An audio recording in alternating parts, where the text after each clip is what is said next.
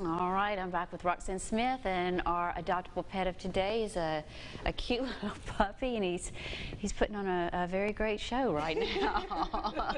as soon as the camera came on him, he's like, "Okay, I'm going to be chill."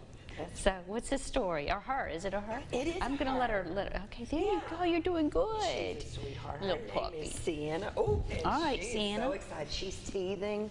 She's Mm-hmm. she's so sweet. She's so gentle, and she's having the best time because she's out of the cage. And she came in as a stray to the Ouachita Parish Animal Shelter, and she's only about 10 weeks old, so she needs to stay there for a couple of more weeks. And it's not just the age; um, it's also the vaccinations that they're getting. So I was talking with one of the workers there today, and they mentioned, you know, they like to keep the puppies for at least two weeks because then they can give them their deworming and their vaccinations so that when they leave, they'll be fully vaccinated and they won't come back sick if they're brought back or they won't get any other animals sick. Yeah, that makes sense. So this baby is just an example of one of the many puppies uh, that are at the Ouachita Parish Animal Shelter.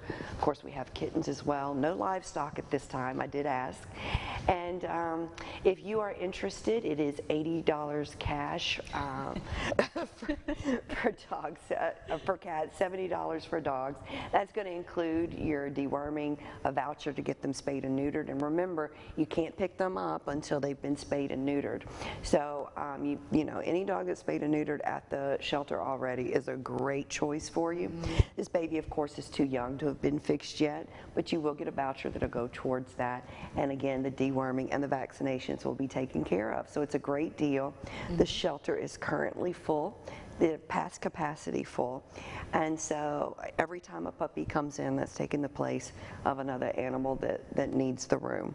And another thing to remember is that the Ouachita Parish Animal Shelter is only taking animals from Ouachita Parish, not from surrounding parishes any longer. So if you're in a surrounding parish, check into rescue shelters in your area and uh, contact your local uh, governmental officials and see what you can do in your parish to help domesticated animals that don't have homes. Okay, any other announcements? We've got about a minute left. Sure. Well, as usual, we are looking for fosters, and it's not just the Ouachita Parish Animal Shelter or Paws of Northeast Louisiana that's looking for them.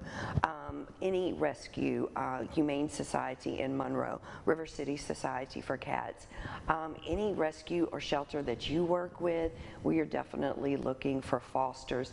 It is a bridge from taking them out of the shelter and into a permanent home, which is outside of this area. So it's really important that we get them out of the shelter, get them medically cleared so that they can travel. And that is something that everybody can do to help. Great. Well, Sienna's going to be a beautiful dog, and she is looking for a uh, forever home. And you can find her at the Ouachita Parish Animal Shelter.